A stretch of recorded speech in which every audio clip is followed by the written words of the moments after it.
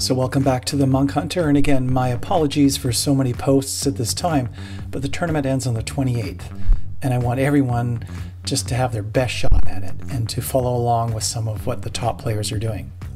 So, another skill right now to do is don't worry about the whole maps, just start with one.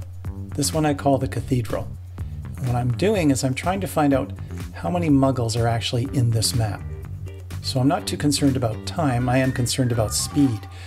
But I'm trying to determine the best route through and where I'm going to get my maximum amount of kills. I really want to find 20, not allowing 6 seconds between each. I'm trying to find that route that gives that to me. I'm also trying to figure out how many guys are actually here. So I'm going to go through the whole map, playing with my route, time and time again, to find out how I can get my 20 in a row minimum without losing my six second intervals. As I move around, I'm also trying to determine where they're popping up. Because one thing about In Death Unchained, it's a game. And it uses random number generators. And when you land in certain places, it generates muggles. So what I did right off the top here is you saw I came straight through the middle. And as I came through, the muggles were starting to generate all around me. Now, if you get lucky and grab a Cupid or a Divine Sight, that's great, but whatever you get. Again, work your way through and try and kill everything and see how many points you can get.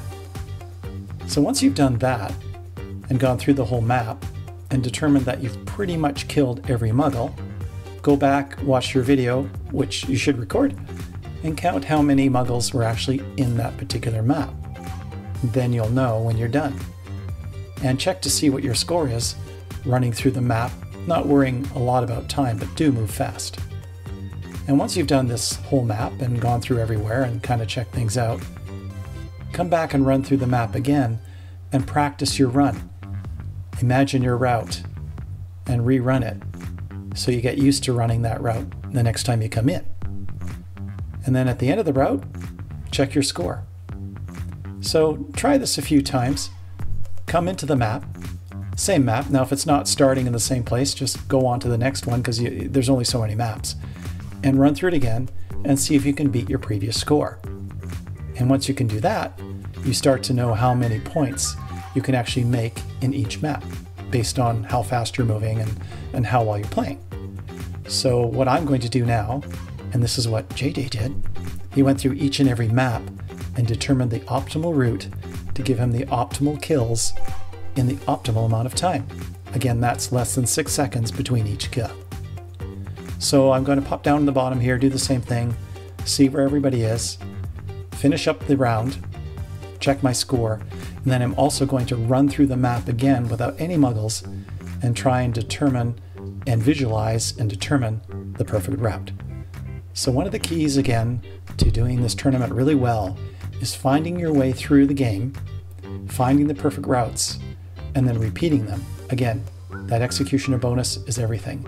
And then once you have each map in your mind, how you're going to play it, you just come in and you play it.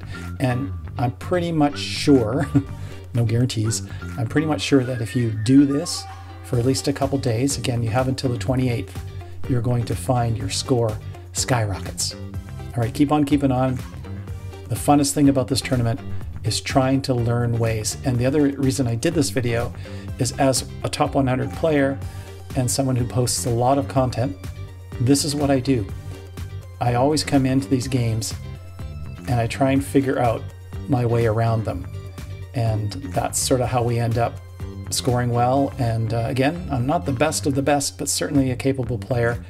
And half the fun of this game is just making the discoveries that you do find as you play the game. It's not just about getting through Anicum and getting through Gabriel and getting to cycle 44.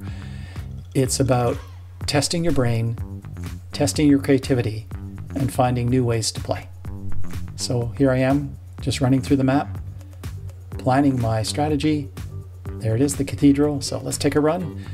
And I'm going to do what I think is the preferred path. And then the next time I come in, I'll try again and see if I can improve my score one more time. Thanks for watching and keep on keeping on. Enjoy the tournament.